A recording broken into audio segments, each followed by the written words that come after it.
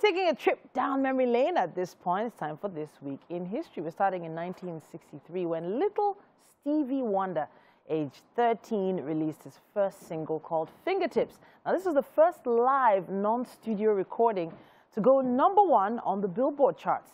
Now, it was written and composed by Stevie Wonder's mentors, Clarence Paul and Henry Cosby. And Fingertips was originally a jazz instrumental recorded for Wonder's first studio album. Now, the jazz soul of Stevie Wonder, by the tender age of 10 is when that came out.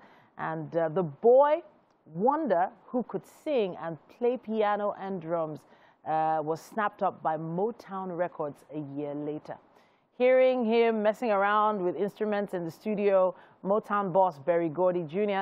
marveled out loud about this boy uh, who was a wonder, and that name stuck. And there was no doubting Stevie Wonder's talent and uh, eventually, he received the Presidential Medal of Freedom from Barack Obama in 2014, regularly sat in on sessions for other Motown artists, and played everything from the keyboards to the bongos.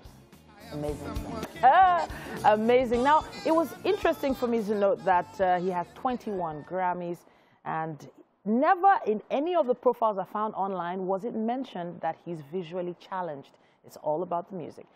Still heading back down memory lane here, 1949, June 22nd, American actress Meryl Streep was born. She's presently 71 years old and is widely considered the greatest actress of her generation, if not all time. She's won three Academy Awards out of 21 nominations and a record for a number of nominations, by the way. She's also received 31 Golden Globe nominations with eight wins and um, they're both more than any other actor has been nominated or won in history. Streep won the Academy Award for Best Supporting Actress for her role in Kramer versus Kramer and Best Actress for her roles in Sophie's Choice and playing Margaret Thatcher in The Iron Lady in 2011. In addition to these roles, she has some other major notable roles as the French Lieutenant's Woman in 1981, Out of Africa, uh, Bridges of Madison County, uh, adaptation, The Devil Wears Prada, um, Doubt,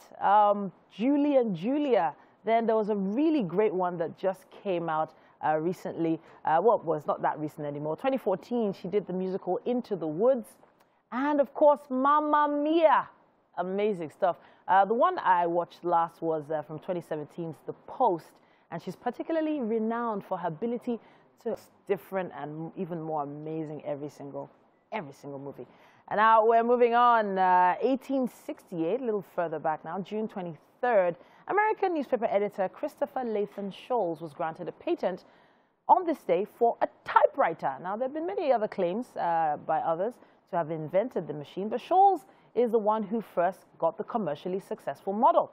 And uh, nobody really knows what the machine looked like back then, but um, these machines that could also pass as a typewriter had an issue. The keyboard was arranged alphabetically back then, just as anyone would expect. But as operators learned to type at speed, it was discovered that the metal arms bearing each character often became entangled.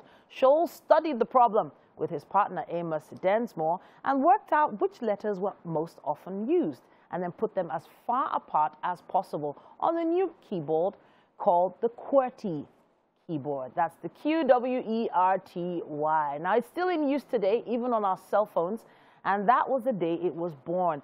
And uh, he's often described it as a blessing to mankind. Remington were highly impressed and offered to buy the patent, and Sholes agreed and sold it for $12,000 and half his share.